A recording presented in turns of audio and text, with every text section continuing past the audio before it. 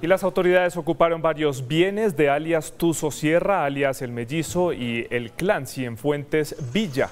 Los bienes ocupados por la Fiscalía y la Policía con fines de extinción de dominio pertenecían a Juan Carlos Sierra Ramírez, alias Tuso Sierra, Miguel Ángel Mejía Múnera, alias El Mellizo, y el clan Cienfuentes Villa, y están avaluados en 60 mil millones de pesos. En el caso del Tuso Sierra y el Mellizo fueron ocupadas cinco fincas en Andes e Hispania, en el sur oeste antioqueño, que fueron valoradas en 24 mil millones de pesos. Según confesó a la Justicia y Paz, alias el Tuso Sierra, estas propiedades corresponden a pagos que le hizo Mejía Munera por deudas de narcotráfico. En el caso del clan Cienfuentes Villa fueron ocupados con el apoyo de la SIGIN 26 inmuebles, 12 vehículos y 8 sociedades en Medellín, Puerto Triunfo, La Pintada, Mutatá y otros en Ayapel, valorados en cerca de 36 mil millones de pesos.